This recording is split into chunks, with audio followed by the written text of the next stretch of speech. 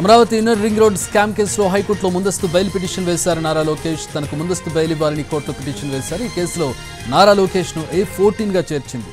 ACB కోర్టులో దాఖలు చేసిన మెమోలో లోకేష్ పేరును మెన్షన్ చేశారు సిఐడి అధికారులు. ఏసీబీ కోర్టులో మెమో దాఖలు చేశారు. ఇప్పటికే ఈ కేసులో చంద్రబాబు మాజీ మంత్రి నారాయణ అభియోగాలు ఎదుర్కొంటున్నారు. ఇప్పుడు తాజాగా నారా లోకేష్ను కూడా చేర్చారు సిఐడి అధికారులు. అమరావతి నిర్మించాలనుకున్న ఇన్నర్ రింగ్ రోడ్ అలైన్మెంట్లో మార్పులు చేర్పులు చేశారని వాటి ద్వారా హెరిటేజ్ నారాయణ లింగంనేని రమేష్ ఆస్తుల విలువ పెంచుకునే ప్రయత్నం చేశారని సిఐడి ఆరోపిస్తోంది. హెరిటేజ్ భూములకు దగ్గరగా వెళ్ళేందుకు ఇన్నర్ రింగ్ రోడ్ అలైన్మెంట్ను దక్షిణం వైపుకు ప్లాన్ మార్చారని అలాగే విజయవాడలో మాజీ మంత్రి నారాయణ ఆస్తుల భూసేకరణలో పోకుండా ఉండడానికి ఉత్తరంగా మార్పు చేశారని అభియోగాలున్నాయి.